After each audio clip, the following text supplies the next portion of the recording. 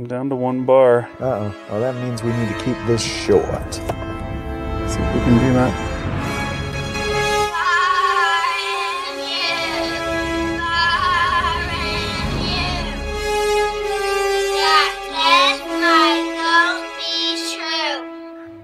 Hi, everybody. This is Bigg Anklevich. And this is Rish Outfield. Donate to the podcast. yes, night. please. As we've said before, we need new zooms. And zooms are. We're not talking like an action figure of the guy from Flash. We are actually talking about a portable recorder slash microphone that is by the company called Zoom. And they're really cool. They're really good machines. Ours, unfortunately, are on their way out. And it's causing us a lot of problems. We've had to re record episodes, etc., etc. And so, if we could take some of the element of that out of the works, we'd get more episodes out. So, you know, that would be awesome, right? Yes, I think us getting more episodes out would be awesome. Or us getting new Zooms, which are you talking about? Both. I mean, new Zooms would help us get more episodes out. And so then it would be awesome. I guess, but if they're like this episode, uh, I don't know that people really want to hear them. Because this is the dark side of The Force Awakens we're going to talk about. That's right. Come to the dark side of The Force Awakens, Rish. Okay. I'm, I'm already halfway there. We have cookies. Oh, okay. Well, hey. Do you think that's funny? Did you ever think that was funny? The Um, come to the dark side, we have cookies? I think I saw it on a T-shirt and was amused by it once, but Yeah. Why is that a meme, anyways? Is there something that that comes from? you want to say that it's Family Guy, right? But Is it? But I don't think that it is. I like cookies. Oh yeah, okay. So well, I would boy, go to the dark bold side. statement from you. I would go to the dark side for cookies, I have to admit. Yeah, we're going to. I'm not going to say that this is the negative episode, but we're going to allow ourselves to go negative. We're going to talk about things that we didn't like as well as things that we did like. Rish uh, was saving something special that he liked for later, so so that may come out today or maybe it'll just never make it in. We'll see. you never know. But the one more positive thing before we go into the Oh, well, negative go. is that isn't it kind of amazing how everybody when that movie came out wanted to talk about Star Wars. There weren't people who were just like, eh, I'm really looking forward to Deadpool. everybody had an opinion. Everybody had things that they liked. Everybody had questions that hadn't My- been answered. Everybody said, "Oh, I can't wait until this happens, or we find out this." Or My 3-year-old son was that way. oh, okay. My three year old son did not want to sit through this movie for some reason. He could not care less, which is really makes me sad. But I still hold out hope for him because I was right about four years old when Star Wars, the, the first film, came out. Shoot, probably even less than that. Two and a half. But you didn't see it at two and a half. I did you? didn't. No, the first time I saw it was when it was, came on TV for the first time, which was years later. Yeah, so I think that was '83. So, you know, there's still a chance for him. But what my son did want to do was sit on the little standee they had outside the theater of Deadpool with the Santa Claus hat on. You Oh. could s- like sit like you were sitting on his lap. So he he was that one guy who wanted to talk about Deadpool Okay, well, it, instead of Star Wars. we should mention this Deadpool thing. Deadpool comes out in February. I think it comes out Valentine's Day weekend. Uh huh. Um, I have absolutely no intention of seeing that movie. Oh yeah. But if people really, really want us to review it, there is a way they can get me to go see that movie. Yeah. Yeah. Should should we tell them, or have we already told them? We already told them, but tell them again, just in case they've forgotten in the two minutes since we last said it. Okay, editor at dunesteef.com is our PayPal address. You can just donate to us, and or you can send us an email at that same address and let us know. Oh, I really want to hear you talk about Deadpool, or I want to know why you don't want to go see Deadpool. It looks awesome. The frat boys are really, really excited about it, and uh, there's also on you know the main Dunesteef page. There's a, the little button up in the corner where you can donate once a month. Yeah, Donate you can once donate a so quarter. it's five bucks a month, five bucks a quarter, or a one-time donation of your choosing. You can just pick whatever number you want to put in there. So yeah, go ahead and donate and tell Rish to see Deadpool because I'd like to see it myself. I guess I'm one of the frat boys. You've always have been. and I, I probably won't see it unless I go to see it with Rish because it's rated R. And I'm not going to take my Yeah. kids to it. Although to tell you the truth, my kids all There all are- of them really want to see it. Yeah, there are so many kids that really want to see this, and and I, well, we could do a whole episode. Yeah, maybe two or three weeks from now we'll do a "What's the deal with Deadpool" episode where I just I have to ask why does he resonate so strongly with this generation? Not that I'm I'm judging them. Usually I do judge them, but in this case I'm not. I just I'm not really sure where it comes from, what it is. Yeah, I don't because there know haven't been other Deadpool movies. I don't know that there have been Deadpool cartoon series or anything like that that they have been exposed to that we haven't. Where it's like, oh well, you know, they It- watched that Mario cartoon when they were kids, and now that you know that kind of thing. Yeah, it makes me feel like Batman when the first Batman came out. There was a hell of a lot of merchandise when that Michael. There hadn't been a Batman anything. Well, For a long 1989 was time. the year of the Batman, though. Did you not know that? The Chinese calendar. Okay, but yeah, everybody had Batman hats, and I see Deadpool stuff all the time now too. Maybe we can, as part of that, maybe we can go back to my house and interview my kids and find out why the hell they like Deadpool so much, because they all do. They forced me to buy a Deadpool comic book so that they could read it, Hmm. and I was just like, "Uh, okay. I read it too, and it was all right, but I don't get it. Uh, But we're not talking Deadpool. To be continued, guys. Yeah, yeah, that'll be continued. Okay, we're gonna start. I'm gonna start off with. It's not like a real big complaint, but the movie starts off basic. Okay, we're 40, 30 years, somewhere in between that, uh, since the end of the last movie, right? The end of the last movie, uh, Return of the Jedi. Luke kills. No, Luke doesn't kill anybody. Darth Vader kills the Emperor and then dies. Like, like maybe Luke killed him because he kind of died from his wounds that he sustained. in The Emperor killed Vader. Okay, so the Emperor Emperor killed Vader back.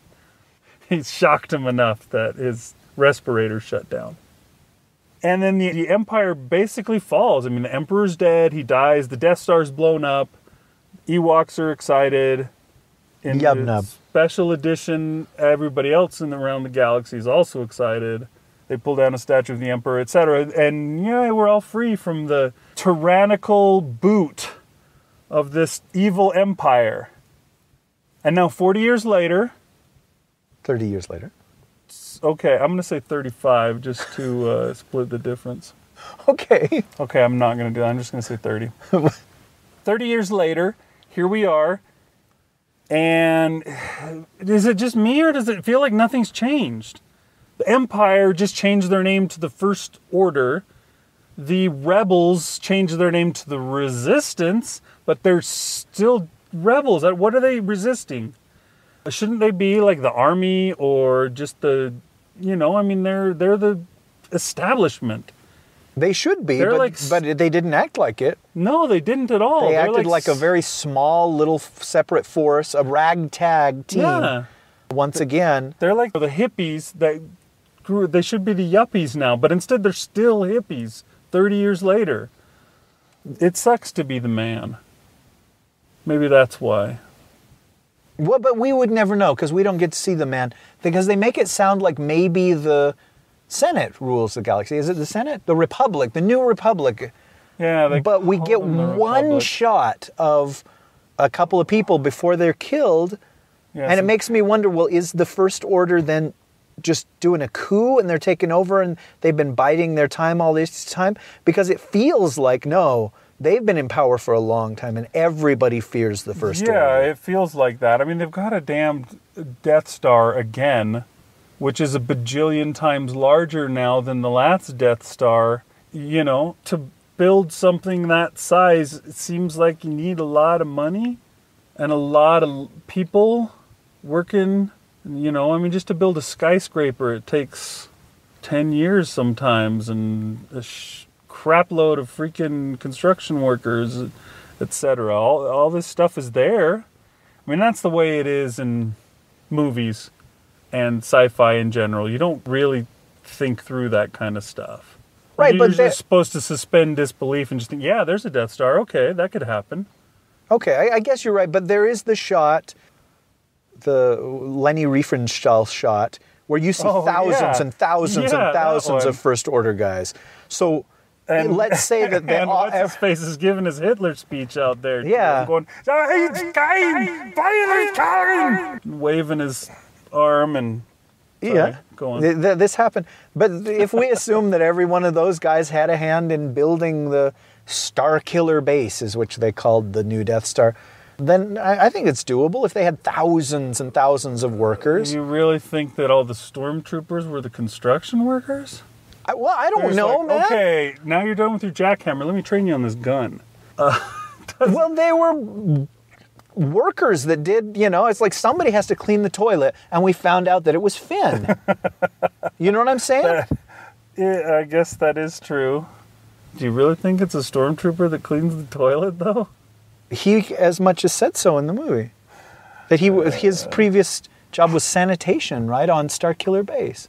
So do they march around in their stormtrooper outfits, carrying the garbage cans to the trash chute to toss it down, or do they wear like just coveralls when they're doing that? There are Imperials in the first Star Wars walking around in like coveralls and fancy hats that could easily have been janitorial, staff, of the Empire. Once But again, anyways- my toilet has backed up. You will clean it. yes, Emperor. I don't want to clean it. You will clean it. I will clean it. So, anyways, it doesn't seem to me like anything has changed, which I know they were trying to go for. Like we talked about it in the last episode about how, yeah, you know, this looks really familiar. It looks a lot like the last trilogy, but also it seems exactly like the last trilogy. And on top of that, this seems exactly like the plot of Star Wars. You have a desert planet at the start, and there's a little robot that goes beep, boop, boop, beep. And everybody wants to get that robot because he has some kind of special piece of information on him. They got to find that robot. The robot finds our heroes, and then they go on their special journey, and then they, they're able to go to blow up the Death Star again. And I don't know what it is about that, but it just it feels like there's got to be something else that they could have done with this. And I I know they're trying to you know erase the bad taste of the prequels by doing something better than that. But did it have to be exactly the same? You know, I, well, I've heard a lot of people air their misgivings about that. Uh, But, you know, it doesn't bother me at all. For 30 years, 32 years, I've heard people complain that there was another Death Star in Return of the Jedi. I can't Uh-huh. believe they were out of ideas on the third movie. They had to create another Death Star. And that's never bothered me. It's just, you know, That- that's part of what it is. That's what happened in the movie. That actually happened, guys, a long time ago in a galaxy far, far away. That hasn't bothered me, but the the more times they go back, because basically that's what they did at the end of Phantom Menaces, went up and blew up the big space station up in the sky with their planes, and saved the planet. And now here it is, number four. They're going up and they're blowing the big space station up with the the one little port. You just got to get a photon torpedo in there, and boom, you got it. Good job. Proton torpedo. Oh, sorry. Anyhow, uh, photon is Star Trek, huh? to me, this is in many ways what Superman Returns was, Okay. which is Star Wars' greatest hits. they made a movie that took the parts that they liked best from the previous trilogy and they, you know, they made a movie that was that kind of thing. And I Uh-huh. know there are people that fudge and hate Superman Returns. I, I talked to one of them just this week who was just like, oh, he was red in the face. He's like, you like Superman Returns? And it turned out he hated the Christopher Reeve movies as well. And I was like, oh, okay, well, that I guess explains why you would hate Superman Returns so much. But he's like, no, no, the Superman, the, the Christopher Reeve movies at least had charm in. And I was like, oh, no, you lost me a long time ago, man. It's, it's all right, don't backpedal. But yeah, the same way, it's just like, yeah, I, there are a lot of things that are familiar in Force Awakens. But I, I can't help but feel like that's by design. That's the, hey, we're gonna, we're not gonna tread on anything new we're not to try anything new like the prequels did. We're going for familiarity. This is comfort food, folks. And we want you to say, oh, this is exactly how I remembered Star Wars. Thank you, JJ. Mm-hmm. And that's my opinion. Maybe that's not what he was going for, but dollars to donuts. Yeah, that's what he was going It for. makes sense, and I, I suppose that's probably a good reason why this is now the one that passed Avatar up and is the number one movie of all. Well, that, that that's inflation. That's charging fourteen dollars a ticket. That's what you and I paid to see Avatar on opening night. And the funny thing is, here it is, five years later, and I've never paid that much to see a movie since that night. Yeah, I, Why would you ever pay that much money? seriously. Why? Why would you ever watch a movie in 3D? With Avatar, that was the thing, though. Like you had to see it in 3D because, for one, they actually shot it in 3D. Which has any movie ever done that since? A few have, sure, because they, they jumped on the bandwagon, but a lot of people realized you could just post convert them to Yeah, 3D and the still 3D. charge the extra six bucks. And so, yeah, not a lot of people actually do the 3D filming because, you know, it's cumbersome and it takes time and it's work. And why would you want to work? Yeah, when you could just have computers work for you. But anyhow, sorry about the Avatar reference, but I mean, yes, Star Wars Force Awakens is a phenomenon and people are talking about it and people are going to see it again and again. But it's still not the phenomenon that the first Star Wars was or the Oh, Titanic definitely was not, or, yeah. or you know what I mean? If you do the old adjusting for inflation thing, it's still got a long ways to go. Yeah, I, But I, I read wouldn't be surprised if it gets there, it won't. or close to there anyway. Sorry, that that's beside the point. Just because a movie makes money doesn't mean that it's good, and just because a movie doesn't make money doesn't mean that it's bad. I think we talked about that with uh, Last Dinosaur. But the fact that people are going to see it again says something more than the money. You know what I mean? If people are like, oh, I can't wait to see this with my kids, or I can't wait to take my girlfriend, or it's like, oh, my mistress hasn't seen this yet. I've really got to go see it a third time. That means something, and you think you'll see it again soon, or are you going to wait till the dollar theater, or you don't? Do you have? Do you feel a pressing need to see it again? I would like to see it again. Did you like it so much less than I do that you're okay to not see it again? I, No, I would like to see it again. I'd really, I, I don't know if it will be before it makes it to the dollar theater, but it might be. I don't know. I got you know, like like you were saying, you know, I, I went and saw it with my whole family, and you've already seen it. I don't know who else I'm gonna go see it with. My mistress has seen it too, so. oh, well, see, that's too bad. So I, I you would. got to find somebody else to see it with. You know what I mean? You can't just be like, "Well, I haven't seen this by myself yet." Well, there you go. That's that's special.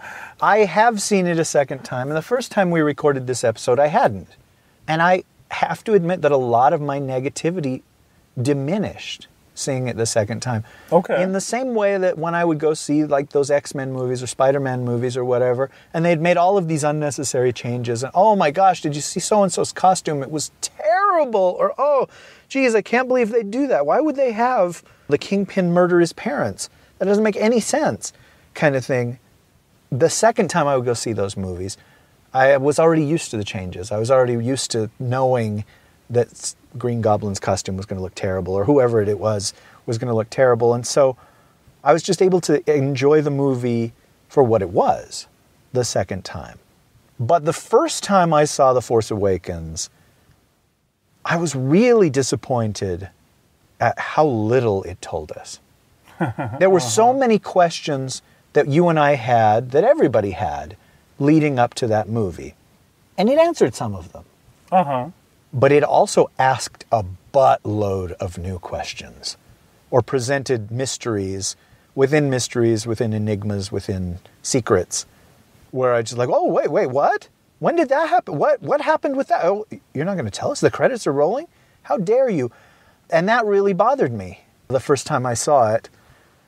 You know, how long has Luke been gone? Why did Luke go? What has he been doing? What is he doing on this planet? Who is Kylo Ren? Why did he turn to the dark side? Who are the Knights of Ren? Who are all these other people surrounding him? Who was that old guy, Van Seca or the, the, is at the very beginning of the movie? How does he know Leia went back when she was a princess? How does he know where Luke is? You know, why does R2 wake up? What happened to Captain Phasma? Was she just really well designed and they didn't give her anything to do? Were all her scenes cut out? Kind of thing. You know what I mean? All these things. What the F is Snoke? What kind of name is Snoke? Is Snoke really that big? Who is he? What happened to his face?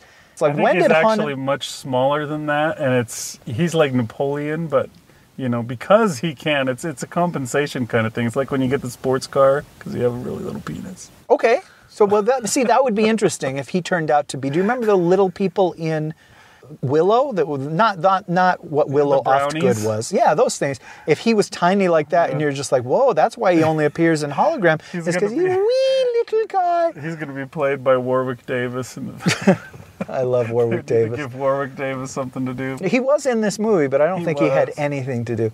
It's a guy in the background. Yeah, and yeah, the, and another big question that I had was how long has all of this been going on? How long has the First Order existed? When did Kylo Ren turn, to the dark side? When did Han and Leia split up? Did they split up because of this thing that their son did? Or were there always problems kind of thing? Whose fault was it that Kylo Ren went bad, et cetera, et cetera, et cetera? Why did they name their son Ben, et cetera, et cetera? I had a million questions, none of which were answered. Uh huh. And later, you know, I had a couple people say, "Well, here's here's what happened. Here are who the Knights of Ren are," and all that. And I was like, "Nope, that wasn't in the movie. That doesn't count." So I was Just wait, in the next movie, they're going to have the Knights of Stimpy, and that's when it's going to get really confusing. Still better name than Snoke. uh, the problem of that was just, you know, it's like I, I wanted to know. I felt that some of these things were important to know. Uh, I needed to know the timeline. I wanted to know, okay, who is Rey? Who was that pe- person that left Rey there? You know, why did they leave her? Is this related to Luke Skywalker? Why is Rey? of awful child abuser are they? And- they're just gonna dump her on some desert world. Say, here, seven year old, take care of yourself. And some of these complaints that I'm making are probably pretty spurious. I can hear you, if you're a defender of this movie, say, come on, we don't need to know, you know, about Captain Phasma's outfit or anything like that. And you're right. But things like, did General Hux and Captain Phasma escape the destruction of Starkiller Base? That's an important effing story point that was not answered. And people will say, well, you'll find out in a year and a half. No, I needed to find out in this movie. It's part of this movie. So, you know, things like that, where it's just like, well, no, I needed a little bit of that. I talked to somebody who absolutely hated the prequels and really loved this movie. And I was like, oh, really? Okay, what, what did you love? And he said, I loved that there was no talking. and I said, what? That there was no talking? Well, there was, you mean by Luke? And he goes, no, that there were no scenes where people sat down and explained something to each other. And I guess what he was talking about was, you know, the Senate scenes or the The constant bickering and, all that talking. Just walking down a long hallway, talking as they have their hands behind their back, and Yoda floats along on his stupid little thing. Um, I can understand that because that the prequels really did suck. I guess, but, But I needed that in The Force Awakens. I wanted talking. One of the best scenes, and I think you told me this last week, so I'm stealing your line. What? In the movie was when Han, for 45 seconds, explains the universe to Finn and Rey. It was a great scene. It's like Uh-huh. the Jedi, the dark side, it's all true. It's, yeah, I knew Luke Skywalker. It's all true. The holiday special, Life Day, Lumpy Malla. That's Itchy kept- and his virtual reality Diahann week. Carroll porn. It was all real. Yeah, Easy, Chewie. That was from the they did the honest trailers version of Oh, the trailer where they, they have him going, "It's all true," and then he starts naming off all the shit from the prequels, midi chlorians. It all happened. It's real. All right. Well, Which I stole your thunder because last week, yes, you wouldn't leave it alone, and I'd get angry every time. I was like, "Stop it! Stop saying that! Don't mention midi chlorians again." But. I needed some scenes where people said, okay, here is the deal. This is the new republic in the Senate and what's going on, and this is the resistance, and this is how long we've existed, and this is why there are so few of us. I needed that. You needed an extra long crawl. You needed instead of just three paragraphs, like nine or ten, or just maybe a couple pages. It could have been like the opening of Beauty and the Beast, where they have the book and they just keep turning the page, turning the page. Dude, that okay, here's what else has happened. and Luke that is now on an island backstory in, in 45 seconds in Beauty and the Beast is so fudging great. And you and I could probably quote it from memory because it's poetry. It's just wonderful, you know, and, and it, you get all the backstory that you need, which Lucas could make three movies out of in just that one little sequence. Anyhow, that was a complaint that I had the first time I saw it. And when I saw it the second time, I was like, I knew that we were not going to find out what happened to Phasma. And I knew we were not going to find out what Rey's deal was or her parentage or what, you know, kind of thing. And why, you know, why R2 Did you came pay up. extra attention in those scenes though? Like where's the flashback? She's like, no, don't go. Did you like look? Who's in the I background? sure did. Can I see somebody? Is there some? Oh, wait, there's the person. I can see. Is that grandma?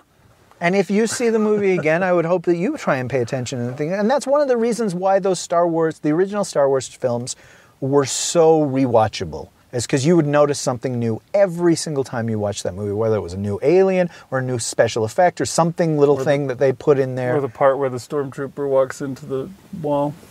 I had seen Star Wars over a hundred times before I ever saw that stormtrooper hit his head on the door. Yeah, I didn't see it. And I laughed 20. so hard. I couldn't believe that that had been in the movie all that time. And yeah, that's the sort of thing that made those movies so beloved for our generation is you could never get sick of them, or at least I, I couldn't. And so yeah, see Force Awakens again and see if maybe your opinion changes. There are still problems with the story. And you're right, there probably are way too many repeats, you know, whatever you want to call callbacks maybe is the word we're looking for. But I was able to let a lot of that go the second time. And uh, I had my five year old nephew, he was sitting next to me, and then about halfway through the movie, he sat on my lap.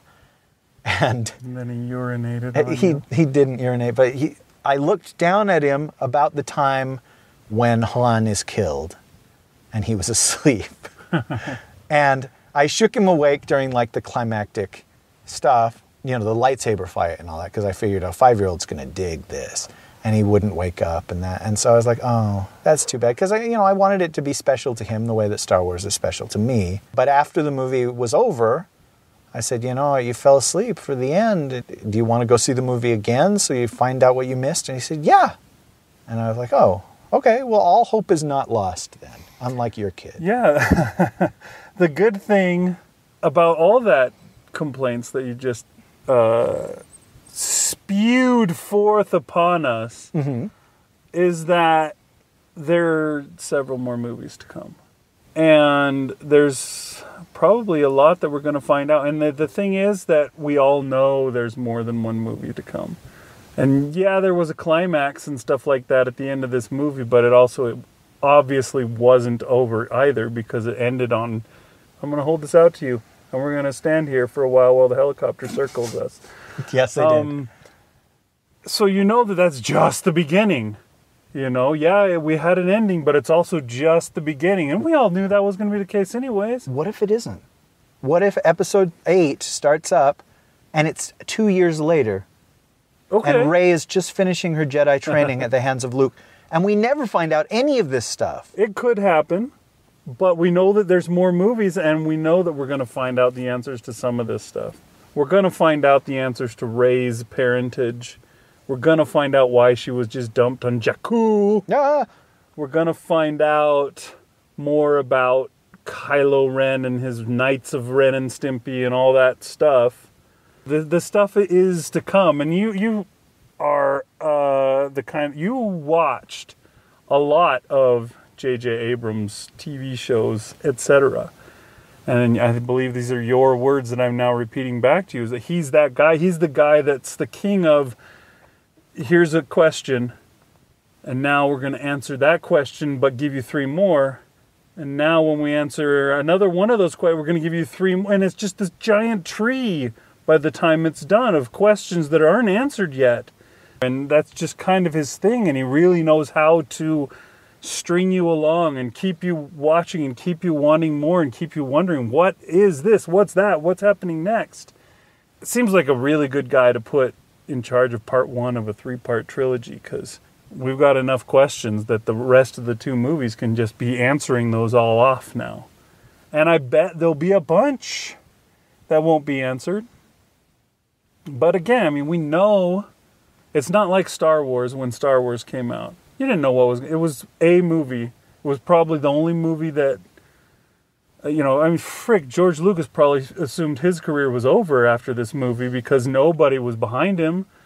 It, it was probably going to go nowhere, and instead it turned out to be a gigantic success, and his life was saved. But you know, he had no idea that he'd ever be making sequels and then prequels and then selling off his company for a whole lot of money so they can make sequels and so forth. And prequels. yeah, but we know that that's all on, on its way. So the good thing is that it's coming again, and it's coming again, and it's coming again. It's going to be a yearly fixture now. So I can't complain too much about all the questions that are left. I I actually I'm excited for the next movie to see what's going to happen. Okay, Um, but Anakin Skywalker in the first movie, they have this whole question of his parentage, right?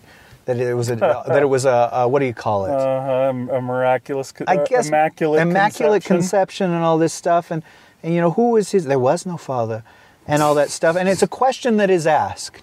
Uh, The same with uh, Sifo Dyas in the second prequel. They make a fudging big deal about Sifo Dyas, Uh, or maybe I'm I'm remembering it wrong, but I remember a fudging big deal. And these questions are never answered. And you know, if you're a huge fan of that era of storytelling, you can say, well, there was an expanded universe book that explained, and then there was the Darth Plagueis the Wise spo- speech in episode three, and there was a Darth Plagueis book that talks about him messing around with the midi-chlorians and they're creating life, and the Anakin was perhaps a reaction to that. And I was like, yeah, yeah, that's great, but it doesn't make up for the fact that these questions are not answered in the movies. And so, you know, yes, if there are seven more Star Wars movies that talk about the origin of the Knights of Ren, that talk about who Snoke was, that give Phasma actually something to do, it doesn't make up for the fact that none of that happens in Force Awakens. And that's, that's just you my can opinion. say but that, I, I- but I, I, mean, yeah, that's your opinion. I'm just saying my opinion is that I, I don't think that it's important that you have to have it all answered in the one, because we know it's not over. It's not like books versus movies, or, or, or something like that, where oh yeah, there was a expanded universe book that only the really weird guys read that explains all that. But with these ones, the next movie is going to explain it. I mean, and the next movie is, uh, as far as this goes, this is a pilot to a damn TV show. this is not going to end. It's not going to end in three movies either. It's not going to just be like, oh yeah, episode nine, we did our bit. That's what we paid a billion dollars for, is to just quit. They're just going to keep making Star Wars movies until people just are like, no, you know, I, uh, I'm bored with them. I don't, I don't ever need to see another Star Wars movie. And that's the majority opinion in the entire world. Which I don't know. They'd have to do a lot of really bad movies for that to ever happen. So you know, it's it's coming. What I wanted to complain okay. About, let's see, what else can I complain about? Well, so far nothing, which is weird because you're the one that didn't like the movie. now I'm just angry because they're like, no, no, I'm the negative one. You're the one that didn't like it. What about Maz Kanata? What about Maz Canada? Kanata? Did you like her? I don't have a problem with her. Was it, is it a CG thing? Was it the fact that she was small? It was the CG thing that bugged me. She was not CG, dude. Oh, she wasn't. She was a real life character. well, I'm Cool. just saying the CG was so good you'd never know that was CG. Yeah, it was one of those things. Maybe it's prequel backlash or something like that. I don't know. But uh, yeah, it's just one of those things with the face that, like, I prefer Admiral Ackbar to Maz Kanata Okay. or whatever her name is, Maz Canada. Because, I don't know, her face had too much detail, too much movement, too much. I don't know, it just looked. didn't work for me. And the goggle, the weird goggles were weird. I don't know why. And I didn't even complain about that last time around. No, you didn't. For some reason, that was one thing that I wanted to complain about and never got to. I just wasn't a fan of her CG look. There was somebody else that I wanted to complain about. Oh, okay. Here's this. What if? what about this? So we have Kylo Ren, right? Okay, here we go. He starts off the movie and he's a supremely badass mother effer. He comes out and he looks scary.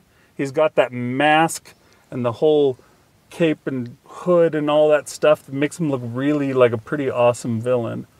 And he is tough and he Poe Dameron shoots at him with his blaster and and he just freezes it in midair. He's like, oh yeah, boop. I can stop light. That seems like, I mean, first of all, that's something we've never seen before. So that's interesting. Because I, yeah, I remember doing. I went, oh, that's new. That's what I actually did in the theater. And the guy behind me probably said, "You're an idiot." But anyways, No, it was it was beyond anything we had seen before. It Yeah. seemed to be like level six Jedi. yeah, it, he seems really, really, really tough and awesome. in that scene. And then as time goes on, he seems less and less and less awesome. First of all, he takes off his mask, and this dude is weird looking. I don't know. I mean, I you think Benedict Cumberbatch is like a super super weird looking guy? And you don't? Uh, Well, he's nothing compared to this guy. For one, he might be a little weird, but this guy is like tall and gangly, and then he's got the world's largest nose. Uh, what was that guy from the piano or whatever it was that had a really giant nose? Adrien Brody. Yeah, Adrien Brody doesn't hold a candle to this guy. And on top of that, he's got gigantic ears too. But I'm willing to bet that there are probably 50 women listening to this podcast who think I'm a complete effing idiot and that that guy's so sexy. Dude, don't be so hard on yourself. There's not three women listening to this I podcast. guess that's probably true. And then but he does have long, sexy, black, thick locks of hair. But his face is kind of like weird and narrow and odd looking. And he goes from being scary to being like, oh, wow, he's weird looking. And they do a lot of shots of him stomping around, like when he's mad and stuff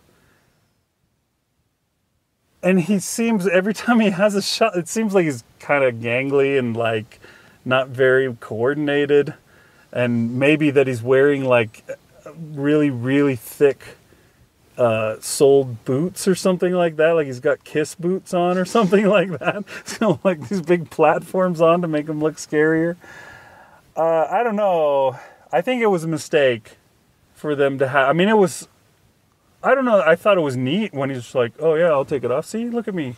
I'm I'm just a dude. That seemed cool, but it was also really took the mystery out. I remember back when we, and this was years ago, used to talk about the uh, Battlestar Galactica Cylons and how Scary they were. Scary, scary bad guys at first. And then as the series went on and on, they started like, well, uh, we need some. Sto- why don't we do a story about like how the Cylons society is? And then it took mystery away from these scary bad guys until pretty soon they were just like, oh, yeah, it's just another number six. Oh, yeah. I heard they're good for Cylon sandwiches, but beyond that, uh, glowing spine sandwiches, I think, is what Ron Moore called it. But anyways, yeah, it, it took all the the more you reveal about them, it seems, the less scary they can be. Now, a lot of people say Kylo Ren's really awesome because he's layered and he's got these issues, and that was kind of the big thing in the film was his issues and he's being pulled to the light and he's being pulled to the darkness and how can he hold it together and you know results in the big moment that everybody's going to talk about. But it seemed like he could have been better Well, I, I believe it was a mistake to set him up as this insane badass at the very beginning and then have him become more and more ineffectual as the movie went on to the point where at the end he is defeated in battle by a girl who has never picked up a lightsaber before. And when that happened, I was just like, wow, was Luke just the most inept Jedi master?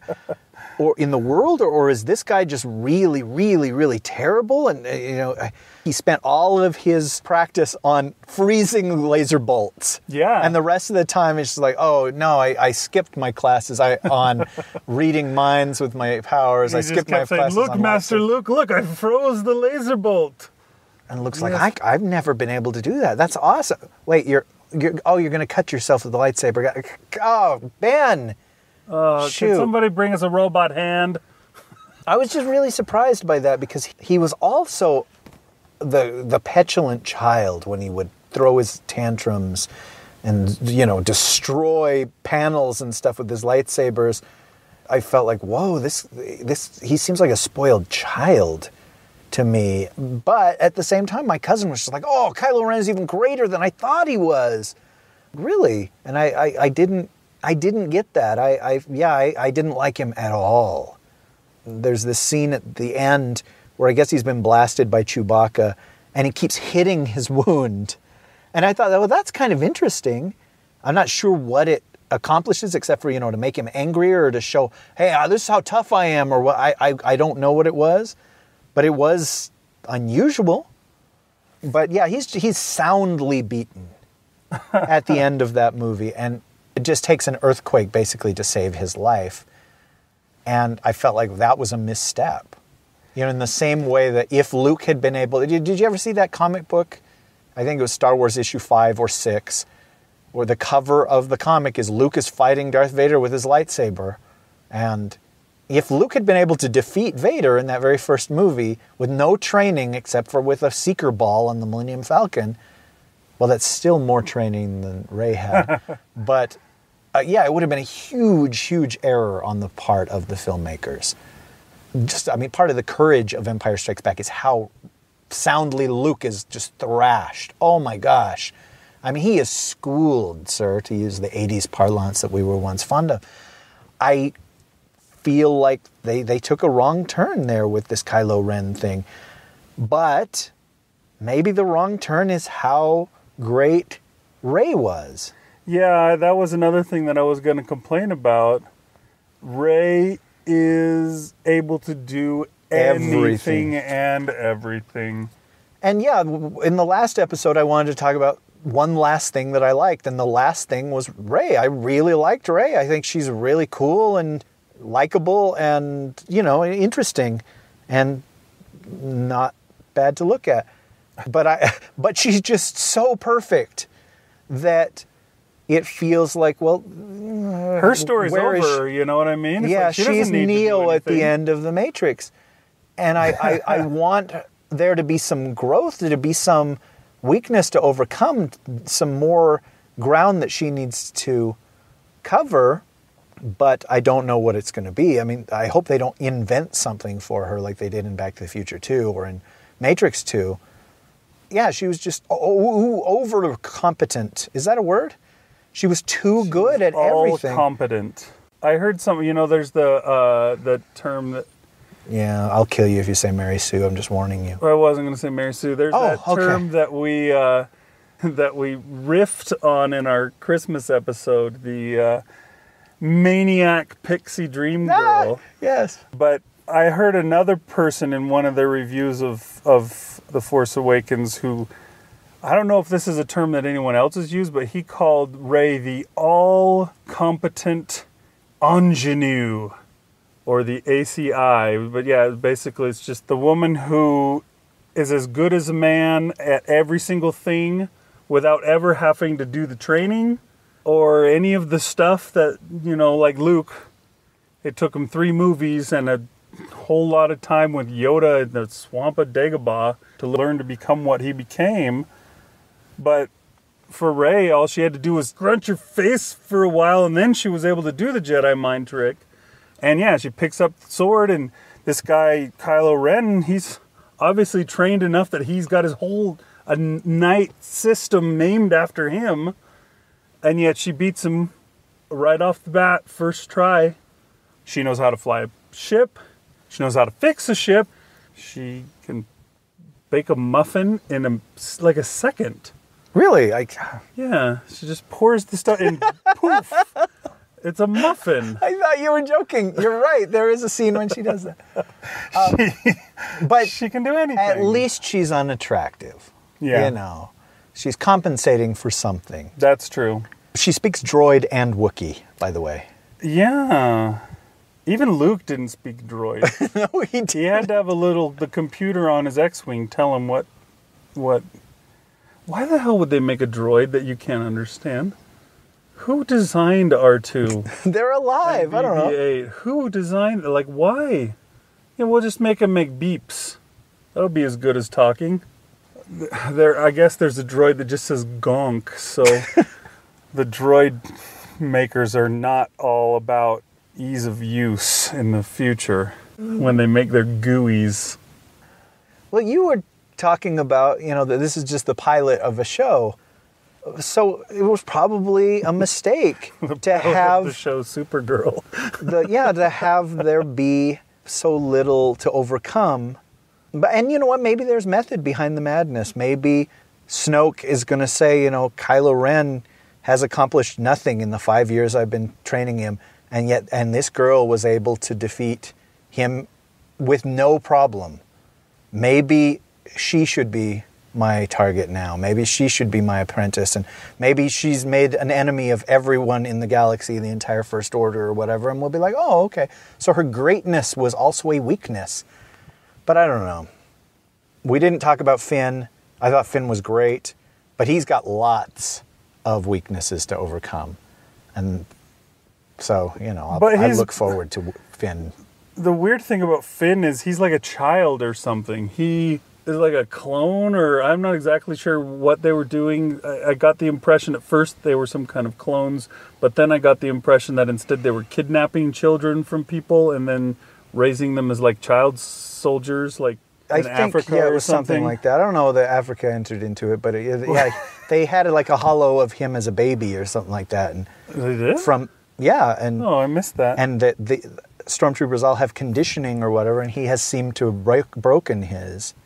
I was referring to the child soldiers that exist in Africa. I know you were. Today's age. Uh, but again, that should have been something that Captain Phasma told us instead of Kylo Ren. It should have been Phasma that knew his number and his uh, identity and all that stuff. Maybe there was a scene because she's like, you know, we, we need to call FN www.dunesteef.com in for reconditioning or something like that. You know what I mean? There maybe we Uh-huh. needed that scene, but Should have tell him to turn in his weapon to be inspected. So she was on the case. Well, was that to determine whether he had fired it or I believe so, yeah, because he didn't. Anyway? I liked Finn. I, I, I liked Yeah, he was fun. The choice to have him speak with an American accent, I thought was a good choice. he's not American either, too. No, right? he's, a as British. British, guy? as the day is long uh, in the summer, not not now. I thought Finn was pretty cool, and I liked his bluster, and then him proving that that was wrong, and Han seeing through it instantly. Uh-huh. Oh, and yes, one one more thing that I liked, uh, Han Solo. I liked Han Solo. They gave him so much to do, too much to do, Mm, maybe, but. When he, it was working, when he was firing all, on all thrusters, it was the same old Han. Uh, Just the that's not how the Force works. I loved that aspect of Han when he was calling him. What was he calling him? Big deal Yeah. as as you know that's his nickname and oh that was just really really cool and uh, it's a shame that we're not going to see more of him until we see more of him so that'll be good Did you like Poe Dameron? i did. I thought poe dameron was cool. The fact that the very very beginning he's like do i talk? Do you, do you talk? How does this work? And then he's like i can't really understand you with that mask thing. I, that was just really fun. Uh, yeah, I, I liked him fine. I'm not sure if he's supposed to be like the third spoke in the the wheel, you know, in the same way that we had Luke and Han and Leia in the uh-huh. first movie, and that these three were supposed to be a triangle and our main three characters, because he had a lot less to do than Finn and Rey. But uh, yeah, he didn't appear, but they did try and talk him up. I, I thought that if this line seemed forced or what it was, but there was like the bit when the Resistance X-wings come flying in and they show Poe's X-wing and it's flying around and doing all these great tricks and it's shooting down. And then Finn's watching him the whole time and goes, "Wow, man! Now that's a pilot." Uh, that seemed like it might have been a little over the top. That comment, you know, he could have had him watch and be like, "Oh wow," or and then go. Yeah, it seemed like he was cool, and he would have been. It would have been nice if he'd had more, if he'd been more of an integral part or whatever of the the story. It, this movie seemed a little bit less like it's a, a one group moving towards a one goal kind of a thing. You had more disparate elements. Well, I think the the thing that messed it all up, and boy, I- don't mean messed it all up, except for and that's what I'm saying, is making Han Solo as central a character as he was. Uh huh.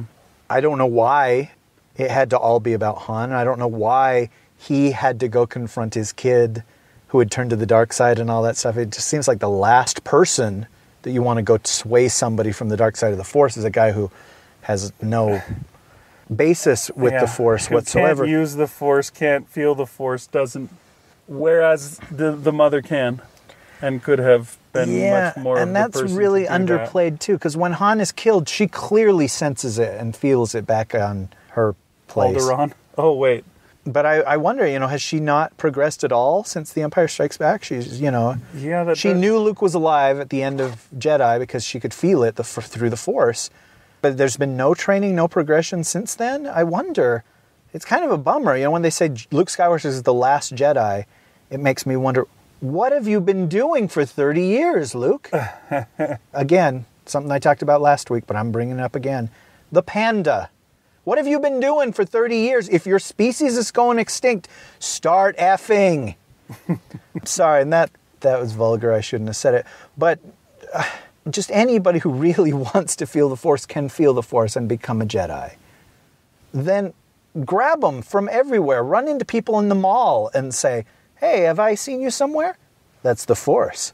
Come with me and let me teach you how to, you know, I make you levitate things and do Jedi mind tricks. And apparently, we can, if you work hard enough, you can freeze a laser bolt in the air. But uh, I, something happened to make Luke abandon that. Un- un- unless, did you get the impression that the old man at the beginning, maybe he had some kind of force thing, some connection to the Jedi? Yeah, the old man at the beginning, I it was Obi Wan. They killed Obi Wan again. I don't know how he came back, but that's what he seemed to be. It's just like, well, Obi Wan's already dead, but let's make a new Obi Wan, and then kill him again. Jeez. yeah, I have no idea who that guy was, but yeah, he must have been somebody. I want him to be somebody from the old movies, yeah, but did I, don't too. know who he could be. Well, he was no, he was none of them. He- he- but my cousin said, "Well, what if he shows up in Rogue One?" And I thought, "Yes, if that happens, I will shut up." yeah, if they present a young version of this character in Rogue One, I'll be like, "Oh, okay. uh, Where's my hat? I will be happy to eat that. Can I put ketchup on it?"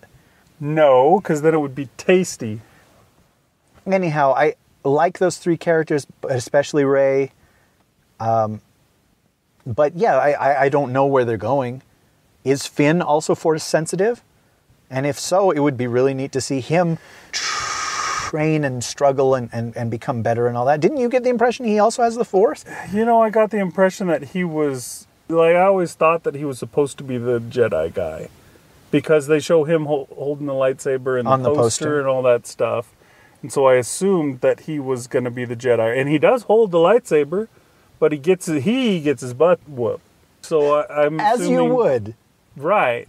But I'm assuming he doesn't have the Force because if you have the Force, well, then you can whoop anybody's butt. See, um, that's not fair. I, th- th- uh, again, and this is something we talked about last week, but got lost. All of the prequels are gone, right? J.J. Abrams did everything he could, but disavow that the prequels ever happened. Okay. So definitely the midichlorians don't exist anymore.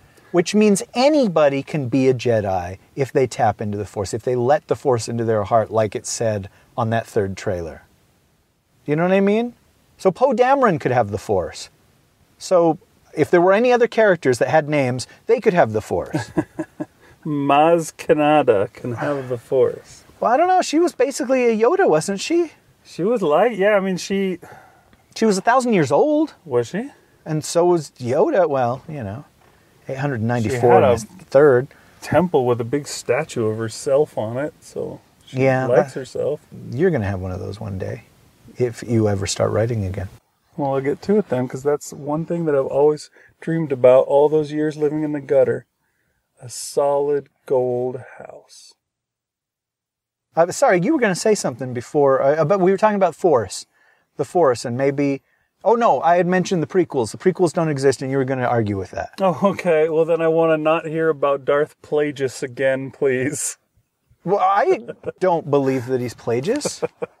Okay, I'm just saying, you've said it. I don't know if it was today or last week or the week before or when, but Well, no, guys, there's a, a contingent of die-hard with a vengeance fanboys that are convinced that Supreme Snoke. Leader Snoke will be revealed to be Darth Plagueis the Wise, who was the teacher, the master of Darth Sidious, who was Emperor Palpatine. There's no way. Not, sorry. It's, it's never, ever, ever, ever going to happen. But it does bring the question to the fore: Who who is Snoke? Where has he been all this time? What? How did he come around? How did Han and Leia know Snoke? he's been snoking on the boulevard. Uh, See, I, I had heard that he'd been snoking in the boys' room. Oh, yeah? Everybody knows that snoking ain't allowed in school. Okay, well, yeah, that's right. Yes, Luke had opened that Jedi Academy, and Snoke showed up, and he's like, "Well, sorry. Snoking ain't allowed in school. Good night, folks. Tip your waitresses." we don't So- have a lot of time to talk about the Force Awakens before all these new things happen. But at the end of the first time we recorded this, I said maybe we should do an episode. Six months from now, you know, when the movie has come out on video and maybe we've seen it a couple more times or seen the deleted scenes. Because you never know. Maybe there's a deleted scene that suddenly makes all of this make sense, or you're just like, oh, shoot. And you're like, damn it, why wasn't that really in there?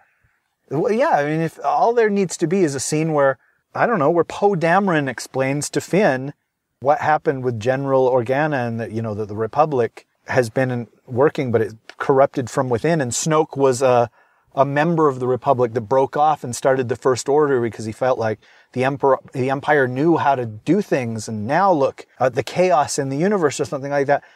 And I'll be like, oh, okay, well, thank you guys. I, I needed to know all that stuff. Now I know, even though it's not part of the movie.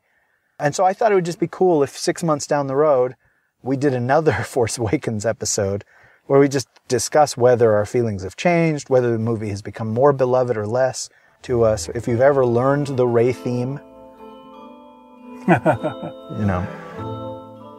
Yeah, that we'll have to do that. Before we go, though, in general, you liked Force Awakens? Oh, yeah, yeah, especially the second time, as I said. I wasn't bawling through the whole thing the second time because I had actually had sleep. But you liked it more the second time? But all the little issues that I've been complaining about for an hour just sort of washed over me, and I, I was like, yeah, I'm, yeah, I'm okay with that. Okay, well, I know we'll never find out. I know Luke's never going to say anything in this movie, so I'm fine with that.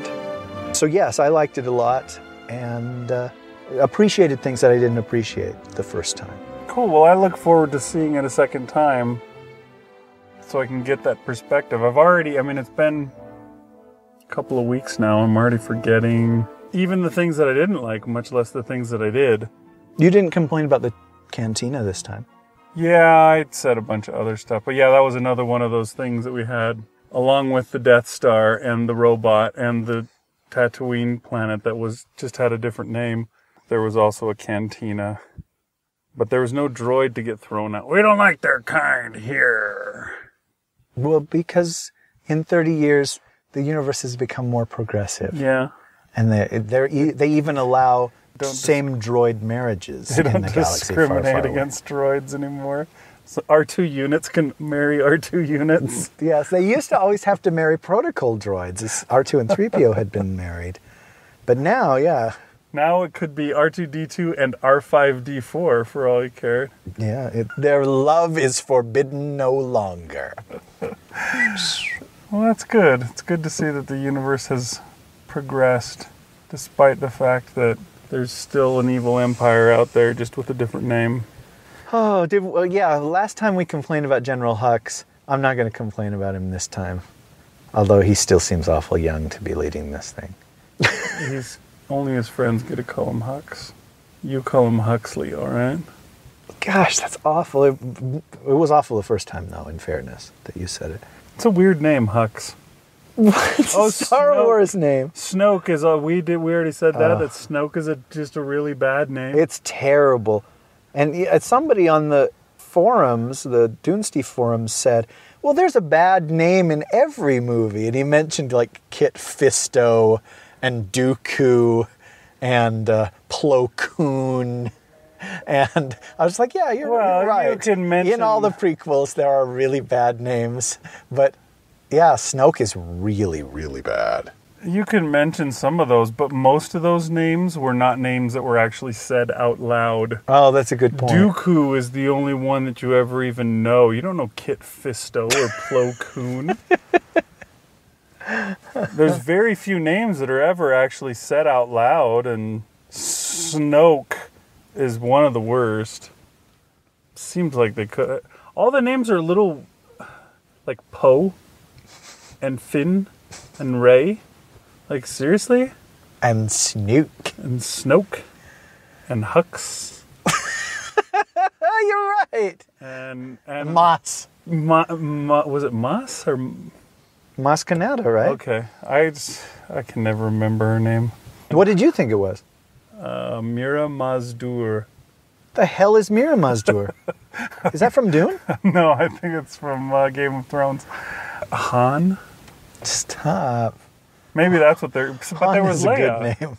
Han, Leia, and Luke. The, you can't say Han, Luke. I mean Poe, Rey, Finn, Han, Luke, Leia. See, Leia ruins it because she's got more than one syllable. Why is everybody one syllable? Lando Calrissian wasn't one Kylo. syllable, and he Don't- flew the Millennium Falcon. Fuck Lando Calrissian. And he, Talking about this movie though, they're all one syllable. Poe, Rey, Finn. Poe, Rey, Finn, Oh, uh, wait, Stormtrooper. That's Poe, Rey, Finn, Maz, Han, Luke, Kylo Ren. I couldn't do it. Sorry, guys. I tried. I really tried. well, it's okay. It's probably that. You complained about my Huxley joke. Finn, a trooper, a black stormtrooper, Rey, a girl from Jakku, fine. Uh, Poe, a pilot who flies himself. Kylo. All right, everybody. Thanks for listening. We'll see you next time on That Gets My Goat. We'll be back with something. It'll probably be time for the uh, Deadpool episode by then. We're not going to see Deadpool, no. You take your five year old to see Deadpool. That Gets My Goat is produced under a Creative Commons Attribution, Non Commercial, No Derivatives license. As if anyone would want to copy this. Yeah. You keep doing